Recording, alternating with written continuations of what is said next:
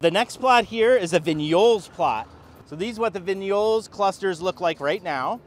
So this is another project started by Peter Cousins at the USDA and Amanda Garris, uh, both who are not with the USDA anymore, but the project's still going on and it was taken over by Tim Martinson.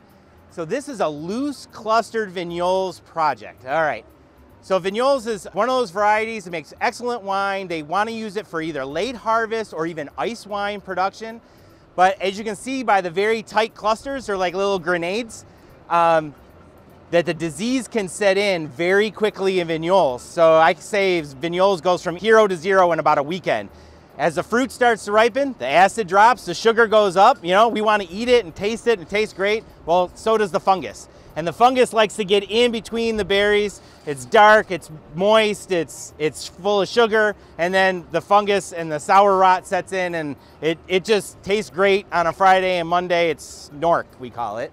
So this project was started by the USDA. They took sticks of vignoles, and the sticks have buds on them, and the buds can create new plants. They took the sticks and they took them to Rochester and actually irradiated the buds and caused mutations within those buds.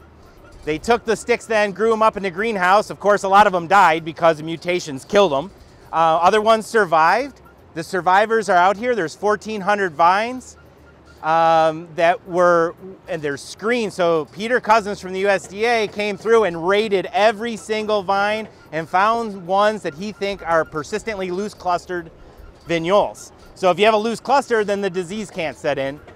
So 10 winners were tagged out of there like propagated out and now they're planted over there. So next year we'll be able to evaluate of those like 10 winter vines, those clones that are out there, which ones were persistently loose clustered and could potentially be used as a new clonal variety uh, for vignoles production and, and be able to let it hang longer into the season without disease.